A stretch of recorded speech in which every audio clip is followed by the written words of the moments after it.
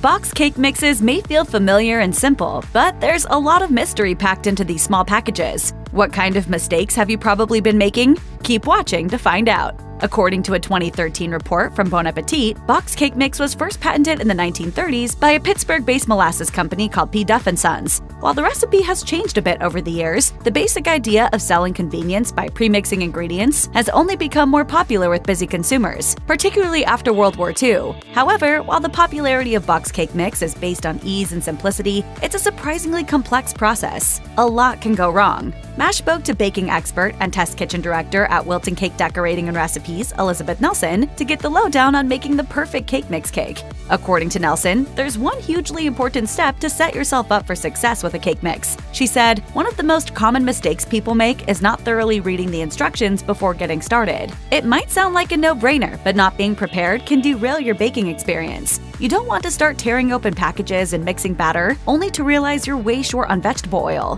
While reading the instructions is important, that doesn't necessarily mean that you have to scrap the whole thing if you make a small mistake. As Nelson told Mashed, cake mixes are generally pretty forgiving. The Pioneer Woman thinks so too.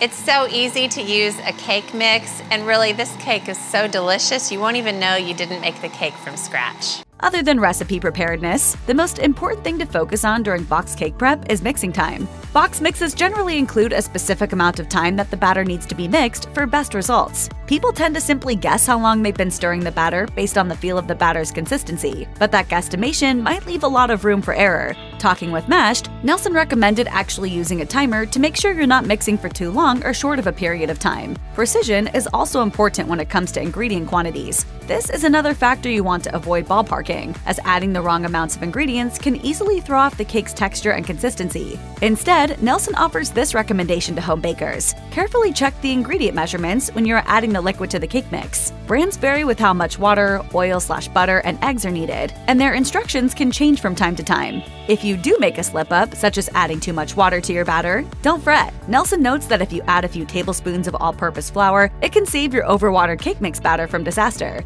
For the ambitious home chef, there are also a few easy ways to kick your box cake mix up a notch. Making easy substitutions, like swapping water for more flavorful liquids like buttermilk or coffee, or even adding one more egg than the recipe calls for, can help the cake go from good to great. Adding some additional yummy ingredients, such as a citrusy lemon or lime zest, a little extra dash of vanilla, or homemade frosting, can give the cake a boost of flavor that makes it taste just like a homemade dessert. For those who prefer a super simple cake flavor, there are still a few simple tips out there for enhancing the richness and sponginess of a box cake. Simply Recipes recommends softening butter before adding it to the mix makes it easier to beat, resulting in a smoother batter. Elizabeth Nelson also says that warming the eggs after taking them out of the fridge can make it easier to mix them into the batter, leading to a fluffier cake. Just cover your eggs in warm tap water and let them sit while you read over that recipe one more time. These simple tricks will ensure a moist and tasty finished product. But even if you just follow the basic recipe, your cake will probably still turn out just fine.